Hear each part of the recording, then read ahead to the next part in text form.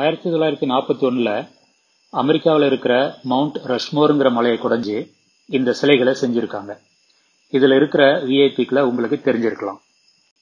மிக பிரபலமான அமெரிக்காவின் முன்னாள் அதிபர்களான Roosevelt Abraham Lincoln George Washington மற்றும் தாமஸ் ஜெஃபர்சன் தான் இந்த நால்வர். இந்த சிற்பங்கள் மிக பிரபலமாக இருக்கிறதுக்கு காரணம் இது மட்டும் இல்லை. இந்த மலைக்கு இன்னும் ஒரு கூடுதல் சிறப்பும் இருக்குது இந்த மலையோட வயது நூத்தி எழுபது கோடி வருடங்கள்.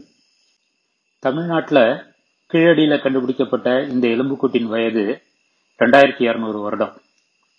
இஸ்ரேல் நாட்டில் கண்டுபிடிக்கப்பட்ட இந்த எலும்புக்கூடு நியாண்டர்தால் மனிதனோடது. சுமார் அறுபதாயிரம் வருடம் பழமையானது. இந்த எலும்புக்கூடு கொஞ்சம் ஸ்பெஷல் அமெரிக்காவை சேர்ந்த ஜான்சன்கிற பிளான்த்ரோபாலஜிஸ்ட் ஆயிரத்தி தொள்ளாயிரத்தி எழுபத்தி நாலில் எத்தியோப்பாவில் இதை கண்டுபிடிச்சார். இந்த பெண் எலும்புக்கூட்டுக்கு விஞ்ஞானிகள் வச்ச பேர் என்ன தெரியுமா? லூசி. லூசி நம்ம சொந்தக்காரங்க தான் அப்படின்னு விஞ்ஞானிகள் அடிச்சு சொல்றாங்க. என்ன? கொஞ்சம் தூரத்து சொந்தம். ஏன்னா லூசி இறந்து சுமார் முப்பத்தி ரெண்டு லட்சம் வருஷம் ஆயிடுச்சு. நாம வாழற இந்த பூமி பந்தோட வயது சுமார் நானூத்தம்பது கோடி வருடம். எல்லாம் ஓகே. ஆனா இதெல்லாம் இந்த விஞ்ஞானிகள் எப்படி கண்டுபிடிக்கிறாங்க? இதைத்தான் நாம இந்த வீடியோல பார்க்க போறோம். இறந்து போன ஒரு உயிரினத்தின் வயதை கண்டுபிடிச்சு சொல்ல விஞ்ஞானிகள் கார்பன் டேட்டிங் மெத்தடை பயன்படுத்துறாங்க. கார்பன் டேட்டிங் எப்படி வேலை செய்யுதுன்னு பார்க்கலாம்.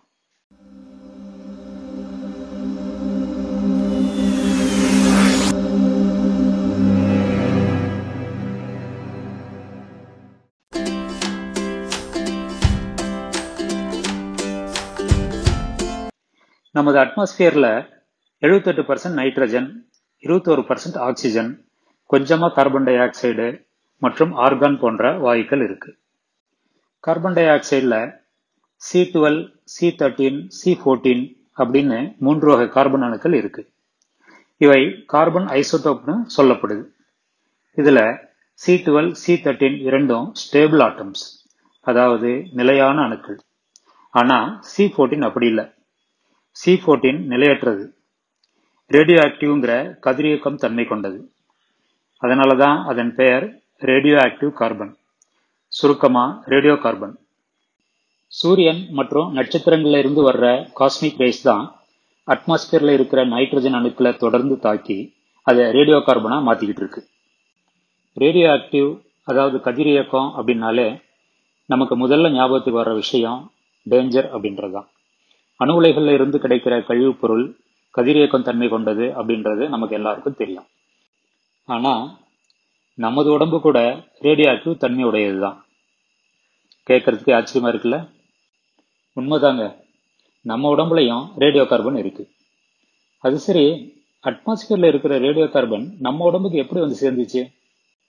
ரொம்ப சிம்பிள் தாவரங்கள் அட்மாஸ்பியர்ல இருக்கிற கார்பன் டை ஆக்சைடை பயன்படுத்தி உணவு தயாரிக்கிறதால கார்பன் டை ஆக்சைடில் இருக்கிற ரேடியோ கார்பன் தாவரங்களுக்கு வந்து சேர்ந்துடுது. ஆடு மாடு போன்ற விலங்குகள் தாவரங்களை உண்ணும்போது ரேடியோ கார்பன் விலங்குகளுக்கு வந்து சேர்ந்துடுது. நாம் தாவரங்களையும் விலங்குகளையும் சாப்பிடும்போது ரேடியோ கார்பன் கடைசியா நம்ம உடம்புக்கும் வந்து சேர்ந்துடுது. இன்னும் சரியா சொல்லணும்னா ஒருத்தர் உடம்புல ரேடியோ கார்பனே இல்லைன்னா அவர் உயிரோடவே இல்லைன்னு அர்த்தம். காரணம் என்னன்னா ஒருத்தர் உயிரோடு இருக்கும் வரை அவர் உடம்புக்கு ரேடியோ கார்பன் சாப்பாடு மூலமா கிடைச்சிக்கிட்டே இருக்கு. அவர் இறந்ததும் புதுசாக ரேடியோ கார்பன் கிடைக்கிறதும் நின்று போயிடும். மேலும் ரேடியோ கார்பன் ரேடியோ ஆக்டிவ் தன்முடையதாக இருக்கிறதால அது கொஞ்சம் கொஞ்சமாக தொடர்ந்து அழிஞ்சுக்கிட்டே இருக்கும். அதனால ஒருத்தர் இறந்ததும் அவர் உடம்புல இருக்கிற ரேடியோ கார்பனோட அளவும் கொஞ்சம் கொஞ்சமாக குறைய ஆரம்பிச்சிடும். உதாரணத்துக்கு ஐயாயிரத்தி எழுநூத்தி முப்பது வருடத்துல ரேடியோ கார்பன் ஐம்பது பர்சன்ட் அளவு சரிபாதியா குறைஞ்சிடும். அடுத்த ஐயாயிரத்தி எழுநூத்தி முப்பது வருடத்துல மீதி உள்ள ரேடியோ கார்பனும் சரிபாதியா குறைஞ்சிடும். அதனால ஐயாயிரத்தி எழுநூத்தி முப்பது வருடத்தை விஞ்ஞானிகள் ரேடியோ கார்பனோட ஹாஃப் லைஃப்னு சொல்றாங்க. ஆக இறந்து போன மனித உடல் விலங்குகள் அல்லது தாவரத்தை பரிசோதனை செய்யறது மூலம் அதுல எவ்வளவு ரேடியோ கார்பன் மிச்சம் இருக்குன்னு கண்டுபிடிச்சிட்டா அந்த உயிரினம் இறந்து எத்தனை வருடங்கள் ஆச்சுன்னு ஈஸியா நம்மால சொல்லிட முடியும். இந்த கிராஃப பாருங்க.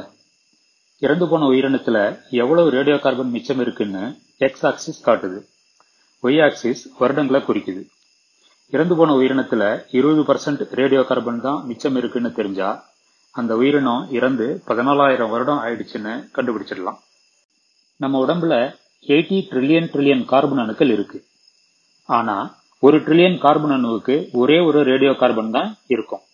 அதனால இறந்து போன உயிரினத்தின் உடல்ல இருக்கிற ரேடியோ கார்பன் அளவை கண்டுபிடிக்கிறது அவ்வளவு ஈஸியான வேலை இல்லை. கார்பன் டேட்டிங் மெத்தடை உருவாக்கி இந்த பிரச்சனைக்கு வெற்றிகரமா தீர்வு கண்டுபிடிச்சவர் அமெரிக்காவை சேர்ந்த வில்லாடு எஃப் லிப்பிங்கிறவர் தான். ஆயிரத்தி தொள்ளாயிரத்தி அறுபதுல இதற்காக இவருக்கு நோபல் பிரைஸும் வழங்கப்பட்டது. கார்பன் டேட்டிங் மெத்தட்ல சில லிமிடேஷன்ஸும் இருக்கு. ஒரு உயிரினம் இறந்து ஐம்பதாயிரம் வருஷத்துக்கு மேல ஆகியிருந்தா இந்த முறையில அதை கண்டுபிடிக்க முடியாது. அப்படின்னா நம்ம பூமியினோட வயது நானூத்தம்பது கோடி வருடங்கள்னு விஞ்ஞானிகள் எப்படி கண்டுபிடிச்சாங்க? என்ன டெக்னிக் யூஸ் பண்ணாங்க? அடுத்த வீடியோவில் பார்க்கலாம்.